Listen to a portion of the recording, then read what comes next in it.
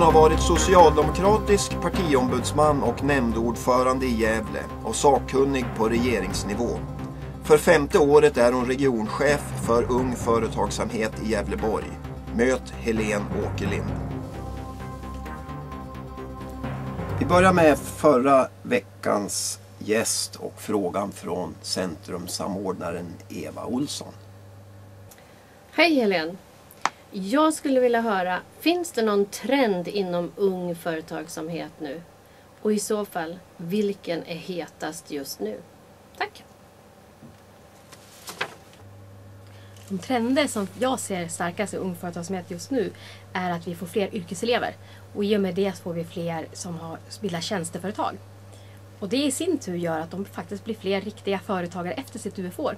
För det är lättare att starta ett tjänsteföretag än ett produktföretag som 19-åring. Varför är Gävleborg bäst på det här med ung företagsamhet? Jag tror att mycket ligger i att vi bestämde oss för det. Vi bestämde oss för ungefär fyra år sedan, fyra, ja, tre och ett halvt, fyra år sedan. Bestämde sig politikerna, ja, skolledningarna, lärarna och vi att vi skulle bli bäst i Sverige på det här. Och att eh, vi skulle kraftsamla och för det behövs det resurser och det behövs engagemang och alla ställde upp och därför är vi där vi är idag.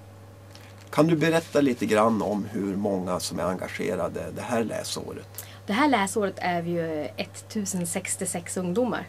Det innebär nästan 30 procent av en årskull, det vill säga var tredje elev i vårt län eh, kommer att vara företagare för ett år när de går ut gymnasiet i år. Då. Och det är en enorm siffra. Tittar man på de stora länen efter oss, så att säga, som är i vår storlek, så ligger de runt 20 procent.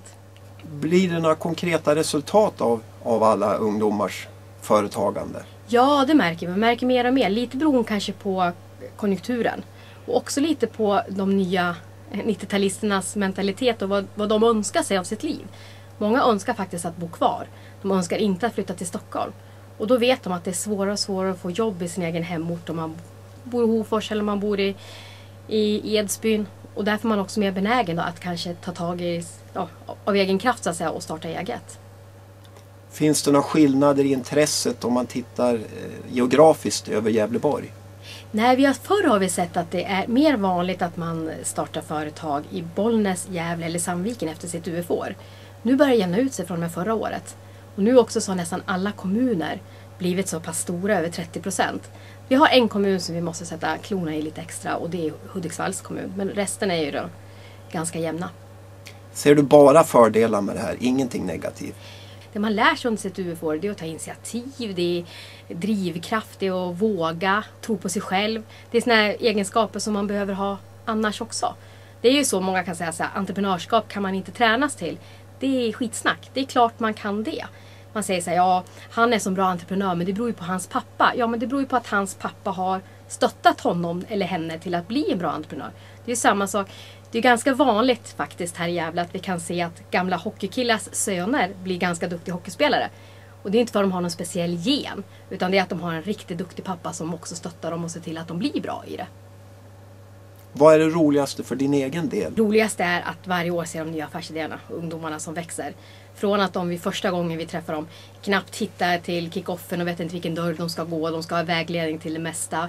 Och sen när de kommer till mässan i april, då har de ordnat det mesta, alltså allting själv. Och sen är det jättekul att läsa deras årsredovisningar. Där kan vi se hur mycket de har vuxit. Du har tidigare varit en ganska omstridd kommunpolitiker här i Gävle och varit politisk tjänsteman på departementsnivå.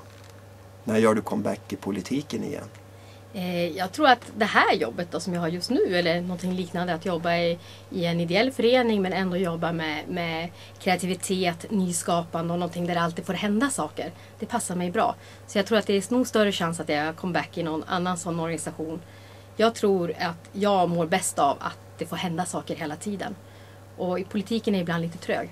Med rätten, för det är ju demokrati det är frågan om och ibland måste det vara trögt. Vem skulle du helst vilja se som Mona Salins efterträdare? Jag har inte tänkt så mycket på det. Det har ju varit så många namn fram och tillbaka som har funderat på det. Det jag tror är att man måste eh, man måste börja med politiken i dess grund tror jag. Man måste se till att få fler med, fler i alla åldersgrupper. Man har tappat ganska många i den generation som jag är i. Det märker jag minst minst i Gävle. Det är ganska få kvar av gänget som ändå höll på för, för 10-15 år sedan. Då. Vad tycker du om prydnadstomtar? Jag älskar prydnadstomtar. Jag älskar tomtar överhuvudtaget. Jag har tio flyttkartonger prydnadstomtar som alldeles nyss har fått gå tillbaka på sitt loft i mitt hus. Nästa veckas gäst är landstingsdirektör Svante Lönnbark. Vilken fråga vill du skicka med till honom? Hej Svante! Eh, det är inte lätt att styra en politisk organisation. Men jag har en liten så här fundering till dig. I och med att du ska varje år få budgeten i balans, vilket måste vara absolut ditt svåraste uppdrag. Mm, är politikerna en tillgång eller är de en barlast i ditt det arbetet?